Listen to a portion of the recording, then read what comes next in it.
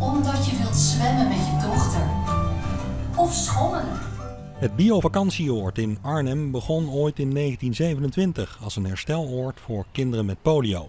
Het was bedacht door de Bioscoopbond die ervoor collecteerde in de eigen bioscopen.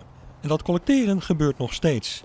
Tegenwoordig voor gezinnen die goed een vakantie kunnen gebruiken. We zijn nu een vakantieoord voor gezinnen met meervoudig gehandicapte kinderen. We hebben 17 huizen, we hebben 135 bedden. Het is volledig aangepast aan de kinderen en de jongvolwassenen in de hostel. De huizen en faciliteiten, zoals een bioscoop en een zwembad, zijn niet goedkoop. De gezinnen leveren zelf ook een kleine bijdrage. Deze viel weg omdat het oord tijdelijk dicht moest door de corona. En er zijn meer inkomsten weggevallen. Geen bezoekers in de bioscoop, dus ook geen doneerbutton, dus daar ook niets van.